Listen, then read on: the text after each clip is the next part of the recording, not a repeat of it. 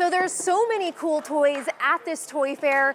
This is one of them. It's called Rocket Racers, and my friend Cy over here, he's gonna race me to the moon. The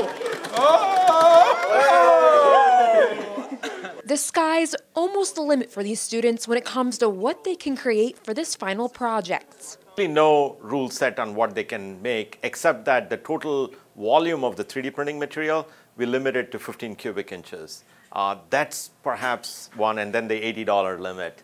Professor Karthik Ramani has had his students design toys as part of a final project for nearly 22 years. So it's kind of hands-on experience, bringing all their knowledge up together in a, in a fun way. So there's a lot of interesting things that come out of this uh, learning experience. Ramani says he's seen it all over the years, from puzzles that get you to think. So you have five seconds to uh, rotate the pieces. To toys that get you to test your reflexes.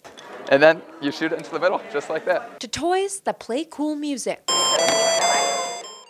Ramani says he always updates his classes, allowing students to use the newest technology like 3D printing and laser cutting, ensuring that their projects are cutting edge. And no fair is complete without winners. We give three awards, uh, the best and most innovative toy.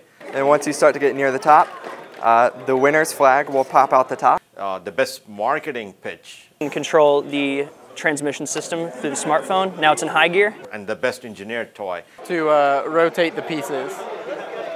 And the awards are separate from the grade for the class. In addition, depending on every year, we give one or two other special awards.